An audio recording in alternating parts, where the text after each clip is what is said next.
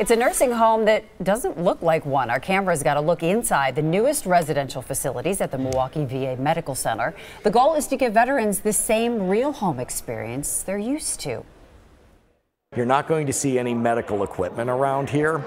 Each house has 10 private rooms and it's surrounding a main living area. And we believe that leads to a higher quality of life for our veterans. Nice kitchens and all the new homes will open early next year.